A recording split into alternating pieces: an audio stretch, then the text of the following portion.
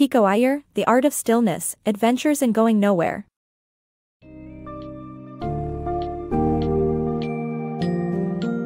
Embark on a journey of introspection and rediscover the power of stillness with Pico Iyer's insightful book, The Art of Stillness, Adventures in Going Nowhere. The summary delves into the experiences of the author and various personalities, including the iconic singer-songwriter Leonard Cohen, all seeking solace through stillness amidst their bustling lifestyles. Exploring the notions of inner peace and our need for tranquility, you will be guided through timeless wisdom from various cultures and benefits that clarity of mind, meditation, and taking a pause bring, enhancing your ability to navigate life's challenges resiliently, forging deeper connections, and unlocking your creative potential.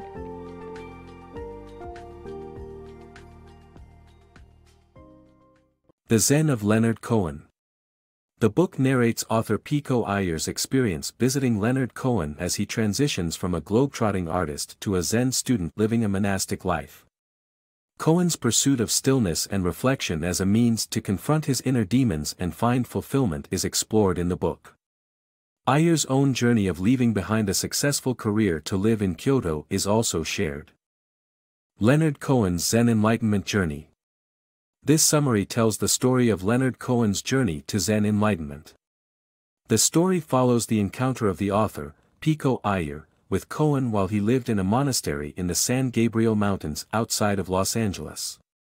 Cohen had traded in his Armani suits for monastic robes, becoming a student and personal assistant of Zen teacher Joshu Sasaki. We learn about Cohen's earnest approach to Zen, not for purity or religious devotion but rather to confront the terror and doubt that had plagued him throughout his life. Cohen reflects on his life as a globe-trotting performer and how stillness became the most luxurious response to his existence. The author relates to Cohen's impulse to seek enlightenment, quitting his job and moving to Japan to find true happiness. The Power of Stillness in Writing and Buddhism In his book, The Art of Stillness, Pico Iyer explores the transformative power of stillness and solitude. He highlights the examples of Marcel Proust and Matthieu Ricard, who were able to create works of great impact by withdrawing from society and practicing introspection. For Proust, stillness allowed him to explore how fleeting moments can shape our lives and memories, while for Ricard, it brought about a state of happiness that earned him the title, the happiest man in the world. Through their stories, Iyer shows how adopting a similar approach to life can help us find meaning and fulfillment, whether as writers or practitioners of Buddhism. The beauty and terror of solitude.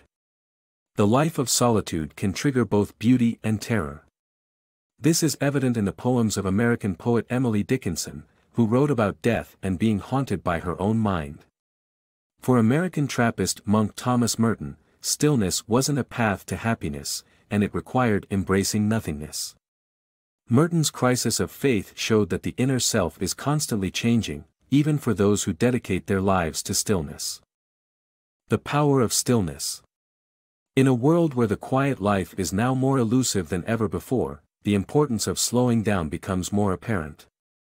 The author discovers that individuals who help develop technology are actually the most sensitive to this need of slowing down.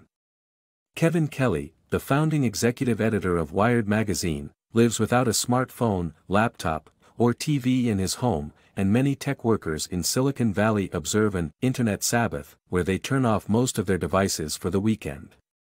Emma, a Stanford researcher, conducted a week-long yoga-based breathing program for masculine, Midwestern military veterans, which resulted in significant improvements in their symptoms of PTSD. Even after a year, the improvements held up. Emma's husband, Andrew, who completed his own stillness program, found the hour of concentrated attention not only made him happier but also made him more selectively alert about potential threats and targets, making him more effective at his job and better able to enjoy his daily life. We must learn to step back from endless information to see the bigger picture and draw upon that clarity when the stakes are highest. The power of stillness. The concept of the secular Sabbath is about prioritizing a set amount of time to let your mind roam without direction or purpose. It's a period where creative and unexpected ideas often arrive, and simply listening can be more rewarding than trying to articulate all of your thoughts.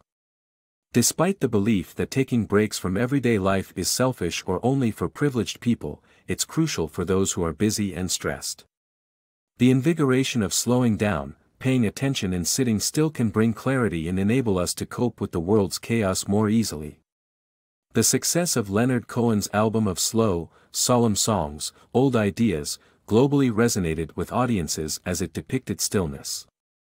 It shows that even if we talk ourselves out of going nowhere, we're often drawn to the work of people who have journeyed inward and returned to the world tender, alive, and lucid.